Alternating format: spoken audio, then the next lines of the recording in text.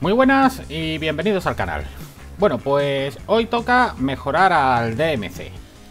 El DMC, un DMC, un DMC solamente con la posición de DMC, ¿eh? no como la otra vez que hice MC DMC.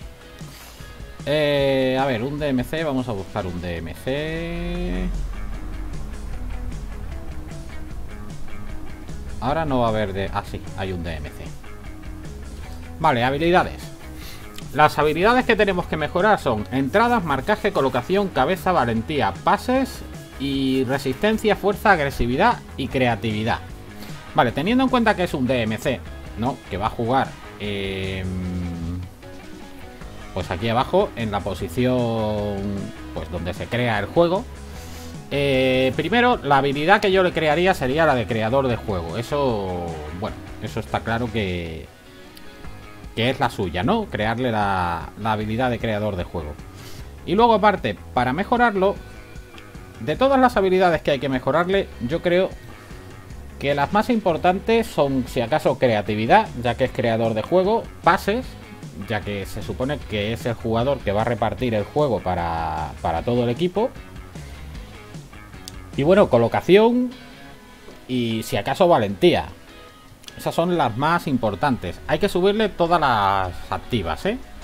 Y para subirle todas las activas, pues tenemos aquí los entrenamientos. Que son eh, juego de presión, que le sube forma, agresividad, pase, entradas y colocación. Usa la cabeza, que le sube la creatividad, pase, colocación y cabeceado. Y gimnasio, que le sube la forma y la fuerza. Eh, ya está, en realidad con eso eh, con esos tres ejercicios se sube el jugador perfectamente.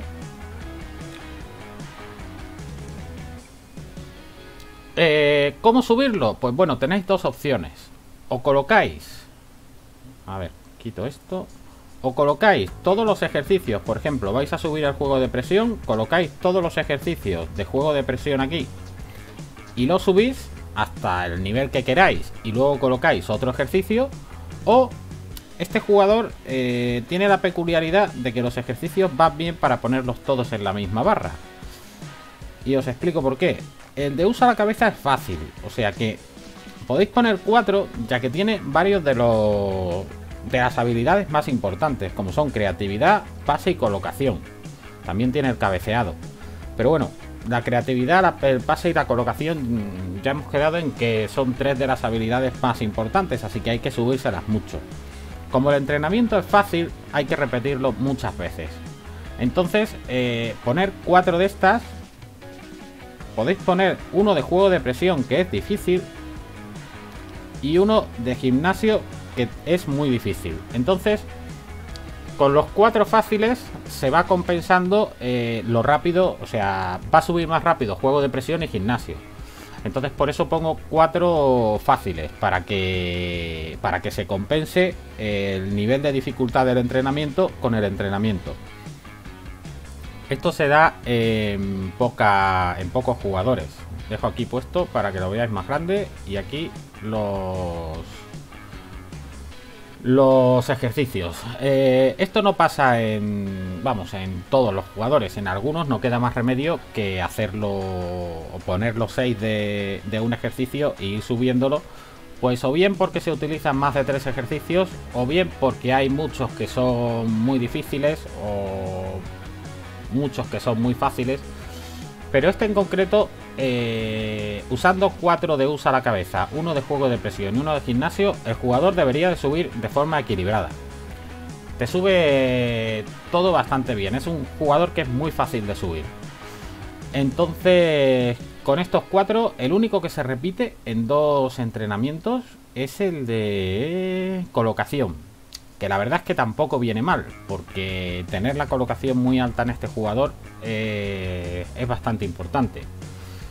Y ya está, el gimnasio sube la forma, la fuerza y luego aparte sube el lanzamiento y golpeo que son ejercicios del portero, así que esas no cuentan.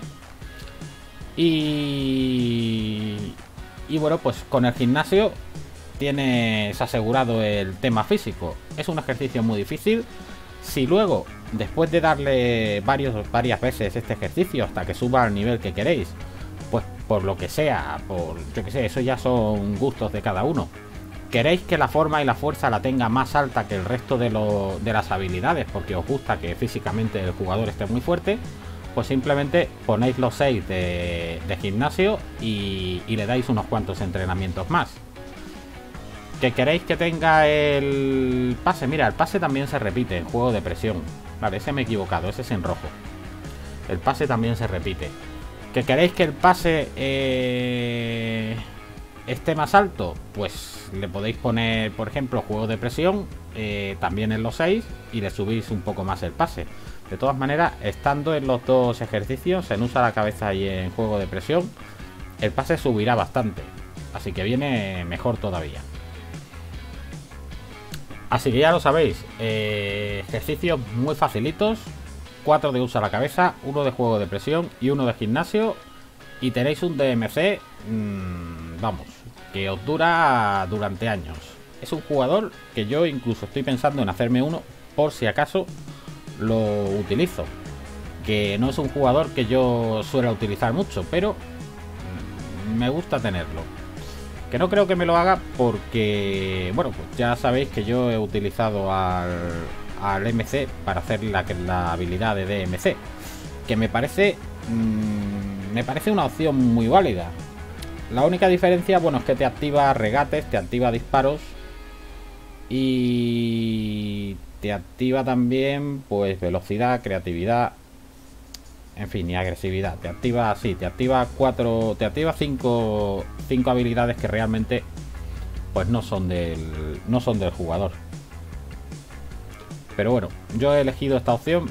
Eh, vosotros podéis elegir la opción que queráis. Hay mucha gente que le gusta jugar con un DMC puro. De todas maneras, os puedo enseñar uno que viene además perfecto porque tenemos aquí a Lucas Vera del Boca Juniors que lo ha subido esta temporada a, lo máximo, a 9 estrellas. Y ya veis cómo ha quedado el jugador.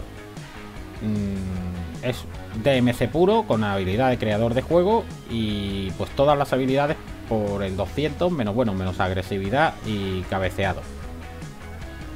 Con esos entrenamientos que he puesto con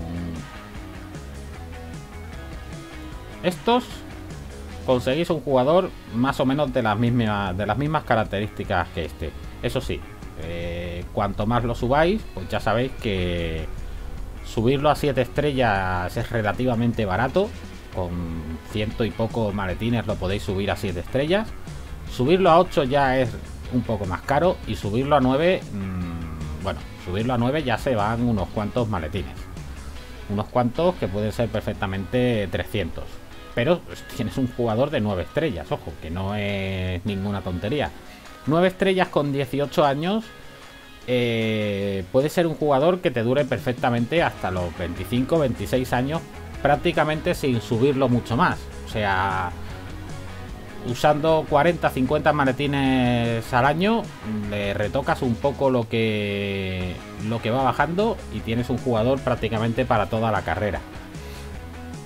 Que vamos, sale rentable. Gastar unos cuantos maletines más cuando tiene 18 años y luego te los ahorras cuando, cuando el jugador va cumpliendo edad, porque no tener que estar cambiando de jugador todo el rato te hace ahorrar bastante, bastantes recursos, tanto tokens, que no tienes que estar fichando esa posición durante muchísimas temporadas, como, como maletines, que con, ya digo, con 40-50 maletines eh, lo vas retocando cada temporada y incluso cuando ya llega a los 23 años ya no merece ni la pena invertir más maletines en él. O sea, ya lo vas dejando que vaya bajando, que ya, que ya está bastante subido y se puede asumir eh, la bajada, siempre y cuando lo pongas de titular, que durante la temporada suba, que ya sabéis que tenga la edad que tenga, durante la temporada eh, con los partidos oficiales va subiendo el jugador.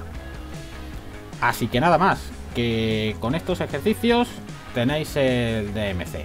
Os los dejo por aquí está jugando Jesús Fernández. Vamos a apoyarle. Pues con estos ejercicios tenéis un DMC que os hace la vida mucho más fácil. Así que nada más por hoy. Que un saludo a todos. Espero que os haya gustado. compartir el vídeo que me ayudará un montón a seguir creciendo y nos vemos en un rato. Hasta luego.